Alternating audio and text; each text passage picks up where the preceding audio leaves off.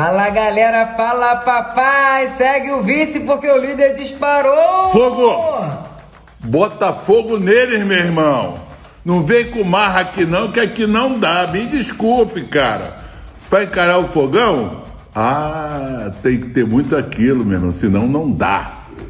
Saiu de um, resultado terrível, um dos melhores jogadores, do goleiro do campeonato, eleito o melhor goleiro do campeonato. Tomou um gol injusto, que ele é bom goleiro. Foi uma falha boba, né, papai? Porra. Mas você vê quando o goleiro é bom, a torcida não vaiou, o time não foi cobrado, deu moral e depois ele defendeu duas bolas que garantiram o resultado. Acabou, meu irmão. Tá dando gosto ver o jogo do Botafogo, papai? Rapaz, você É chega para ver né? um jogo.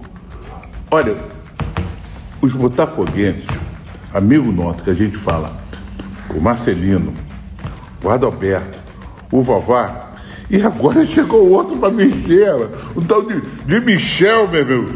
Michel. Michel, Grande da empresa Michel. de segurança. Michel, vou falar no teu nome, rapaz, porque os botafoguenses Estou em estado de graça, meu. É estado de graça.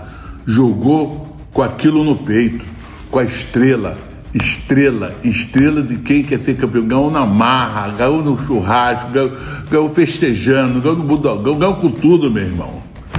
Um time que quer ser campeão não precisa jogar bonito, precisa mostrar por que quer ganhar. E o Botafogo está mostrando isso. Porque ele está vencendo, porque ele quer vencer. E tem mais. Vão pensando, ó, já estou sentindo aquele, Coxinha.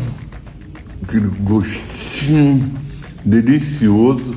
Se passar mais duas ou três rodadas desse negócio, eu vou mandar fazer, hein?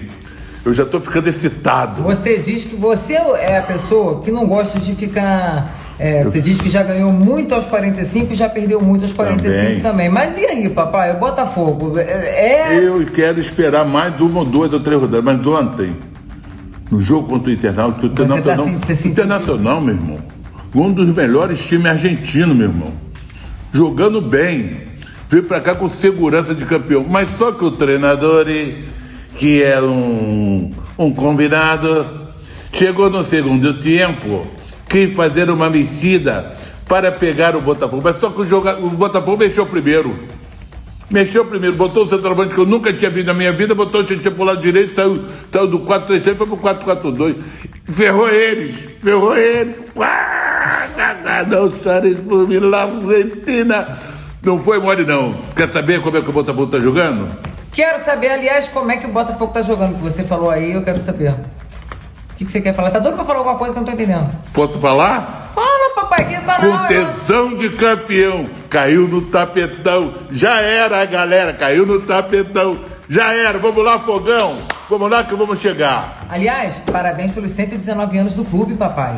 Foi na hora certa, no momento certo. Sem falar do velho Lobo. Velho Lobo, parabéns pra você também. Vamos lá, velho Lobo. Tá tudo certo, tá tudo bem.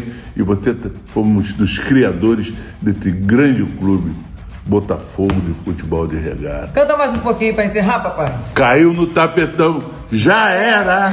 Caiu no tapetão, já era. E o hino, canta o hino, o pessoal gosta, eles pedem, canta aí. Só um pedacinho, vai.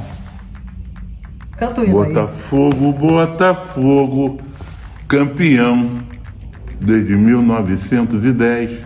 Tu és. Eu gosto desse pedaço glorioso. Não pode perder, perder pra ninguém. Vou fechar até. Vamos lá, caiu no tapetão, já era. Obrigada, galera. Obrigada, Rei do Rio.